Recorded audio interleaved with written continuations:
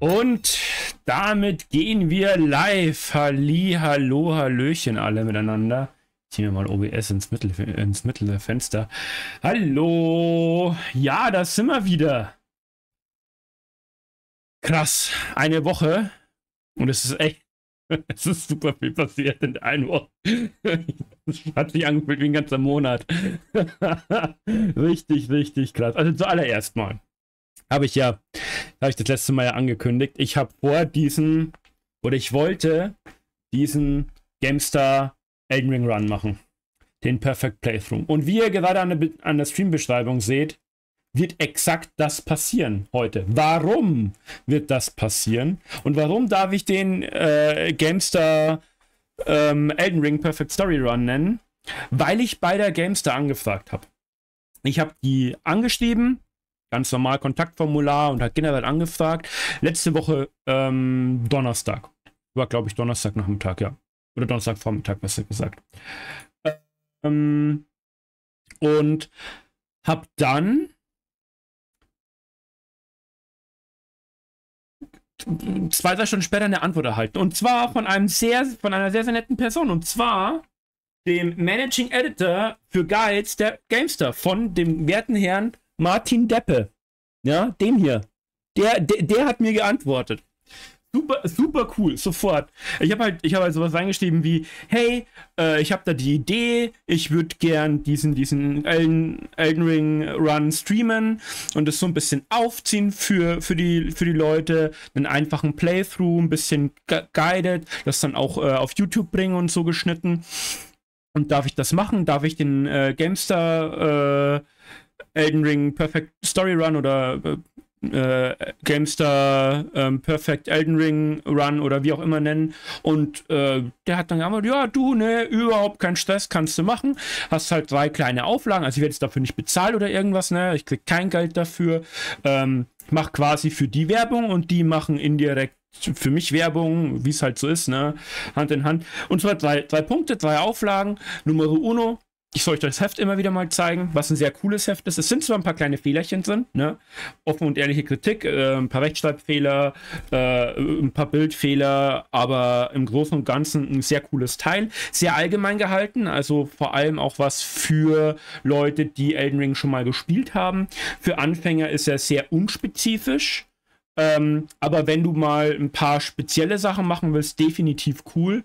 Ähm, und es gibt, es gibt ja eine Million, Guide, eine Million Guides und Gamestam lädt ja auch wieder immer wieder Artikel-Guides und sowas hoch, hat ja selber Video-Guides und so weiter.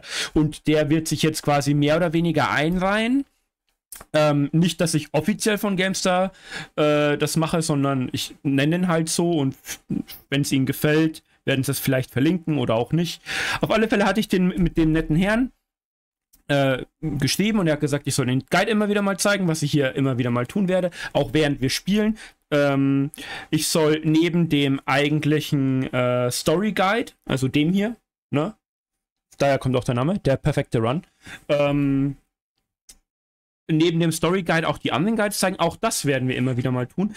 Ähm, ich habe nämlich auch äh, was vorbereitet für einen kleinen Vorbereitungs- Run, der jetzt heute nicht stattfindet. Heute starten wir erstmal ganz gemütlich rein. Für alle Anfänger, alle Leute, die noch keine Ahnung haben, wie man in Elden Ring startet und was man so findet und was einen da erwartet, die sich vielleicht erstmal angucken wollen. Und nächste Woche, zumindest so der Plan, machen wir dann einen kleinen Vorbereit Vorbereitungsrun. Vorbereitungsrun. Vorbereitungsrun.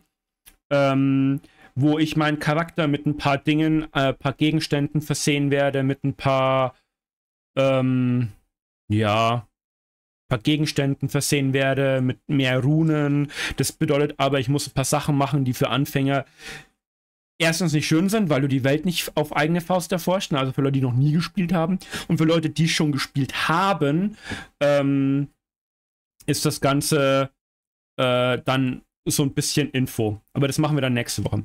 Genau. Das heißt, ich zeige hier dann auch ein paar andere Guides, wie zum Beispiel ein super cooler Guide, den ich wichtig finde, ist, wo findet man diese verdammten speziellen äh, Schwertschlüssel? Da kommen wir später auch noch drauf. Oh, jetzt ist die Karte runtergefallen. Hier, Karte, auch cool. Ähm, wo findet man die Schwertschlüssel? Wo findet man spezielle Waffen? Welche Waffen sind gut? Steht, steht hier drin. Ähm, wo findet man spezielle Talente? Ähm, wo findet man Talismane? Welche Talismane sind gut? Das ist eine super Geschichte. Auch hier, das hier werden wir uns nächste Woche schnappen und holen. Einfach ein paar richtig, richtig coole Sachen. Das ist äh, Auflage 2. Also erstens den Guide generell immer wieder mal zeigen. Auflage 2 andere Guides, also das Heft immer wieder mal zeigen, weil die möchten es ja verkaufen. Ne? Äh, ist auch immer wieder ein Link in, im Chat. Das zweite ist, äh, die anderen Guides auch immer wieder mal erwähnen und zeigen und, und äh, sagen, so, da ist das und das gelöst, hier wird das und das gezeigt. Und das dritte ist, wie ihr dann auch gerade schon gehört habt, ich verlinke alle 15 Minuten, äh, verlinkt die gute Annalena The Bearbot ähm, den Shop von GameStar, wo ihr das finden könnt. Ich werde das dann auch später verlinken für ähm, für YouTube, also unter den äh, in der Videobeschreibung, weil das eine Auflage ist, damit ich das so nennen darf. Das finde ich aber super fair, weil äh, sie zahlen mir nichts, ich zahle ihnen nichts, sie generieren theoretisch für mich Reichweite und ich für sie. Ich meine, ich bin ein kleiner Streamer, ich habe immer nur vier, fünf Zuschauer, das habe ich ihnen auch gesagt. Ich habe ihnen auch gesagt, ich bin kein Pro-Player und auch für alle Leute da draußen, ich bin kein Pro-Player.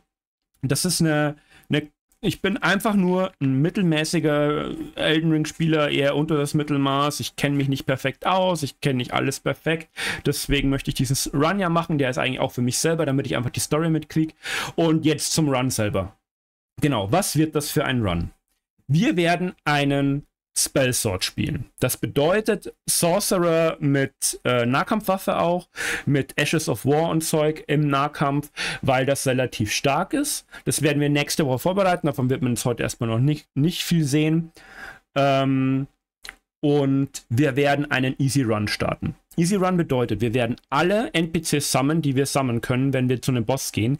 Wir werden alle äh, Mimics, äh, nicht Mimic, alle Tiers, alle Ghost Ashes summonen, wenn wir das können. Wir werden da uns da auch die stärksten holen. Also wirklich einfach, weil ich möchte das so ein bisschen zeigen, dieses Spiel kann einfach sein. Wenn du dieses Spiel spielst, Leute da draußen, wenn ihr dieses Spiel spielt, ohne Summons, wenn ihr dieses Spiel spielt, einfach nur ihr alleine gegen den Boss, dann spielt ihr quasi einen Challenge Run. So hat man Dark Souls gespielt. Und auch bei Dark Souls konnte man schon NPCs sammeln. So hat man Dark Souls gespielt. Und das ist eine valide Option zu spielen, aber ihr macht es euch schwierig. Summonings in jeglicher Art und Weise sind Teil des Spiels. Und Teilweise sind Bosse darauf ausgelegt, dass ihr sammelt. Nicht alle. Es gibt welche, da merkst du, die kannst du alleine ohne Probleme machen, wenn du ein bisschen levelst und ein bisschen klug agierst.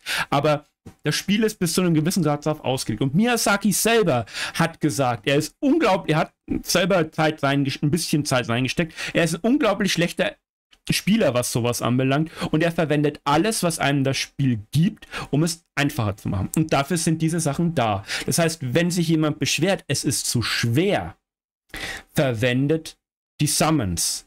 Verwendet die NPCs. Fragt, wenn ihr online spielt, um Hilfe. Andere Mitspieler können ja auch helfen.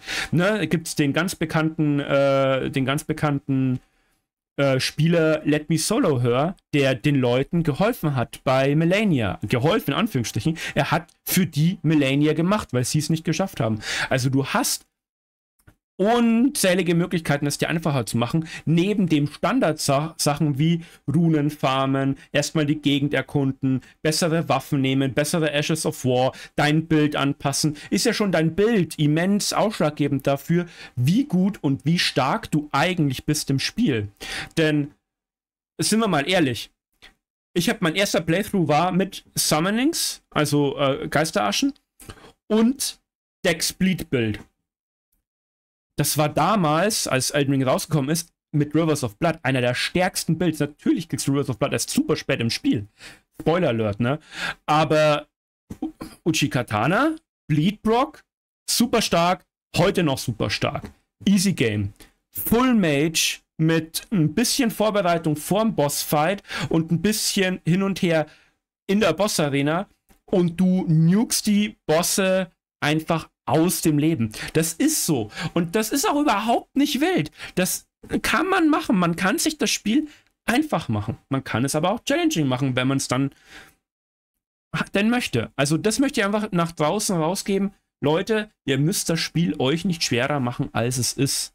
Ihr könnt es einfach spielen und es ist trotzdem ein Erlebnis. Ich habe Elden Ring zweimal erlebt. Ich habe es mit Summonings gespielt und ohne. Das waren zwei komplett unterschiedliche Erlebnisse. Beim ersten Mal habe ich es mit Summonings gespielt, Dex-Bild und danach habe ich es mir richtig schwer gemacht mit einem Strength-Bild was jetzt nicht wirklich schwer ist, aber ohne Summonings jeglicher Art und habe alles machen müssen und es gab eine Szene, da habe ich mein Bild getauscht, was du auch tun kannst. Und bin wieder auf Rivers of Blood mit Summoning und zwar bei Melania.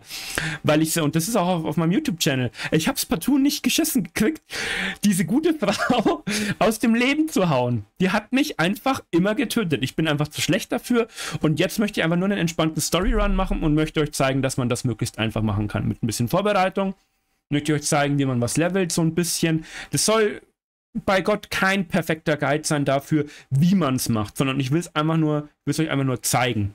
Ich werde die Bosse auf, so, auf die Bosse so ein bisschen eingehen. Das heißt, ich werde jeden Boss auch separat schneiden. Ich werde auch in den Bossfight erstmal reingehen und werde mich auch erst ein paar Mal umkloppen lassen. Das ist auch der Plan, ne? Ich gehe erstmal rein, weiche ein bisschen aus, tu mal ein bisschen hier, ein bisschen da. Will sie noch gar nicht besiegen. Sag einfach so, da musst du drauf achten, da musst du drauf achten. Schau, dass ich sie in die andere Phase kriege. Zeig's euch da ein bisschen.